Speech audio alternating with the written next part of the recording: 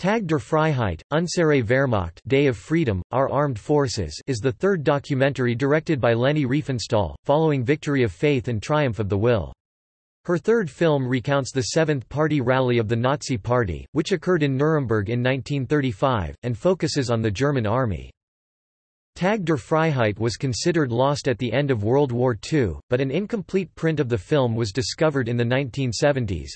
The extant footage reveals Riefenstahl mainly reprising the approach she used in Triumph of the Will 1934, though certain more expressionistic sequences clearly presage the more audacious style she would adopt for Olympia 1938.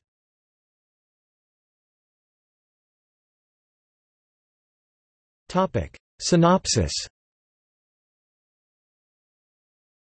The film depicts a mock battle staged by German troops during the ceremonies at Nuremberg on German Armed Forces Day 1935.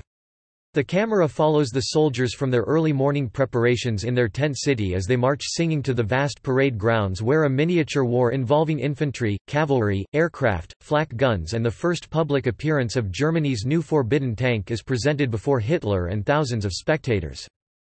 The film ends with a montage of Nazi flags to the tune of the Deutschlandlied, and a shot of German fighter biplanes flying overhead in a swastika formation.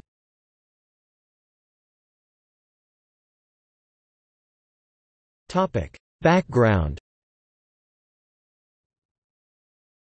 When several generals in the Wehrmacht protested over the minimal army presence in Triumph of the Will, Hitler proposed his own artistic compromise where Triumph would open with a camera slowly tracking down a row of all the overlooked generals and placate each general's ego. According to her own testimony, Riefenstahl boldly refused his suggestion and insisted on keeping artistic control over Triumph of the Will. She did agree to return to the 1935 rally and make a film exclusively about the Wehrmacht, which became Tag der Freiheit.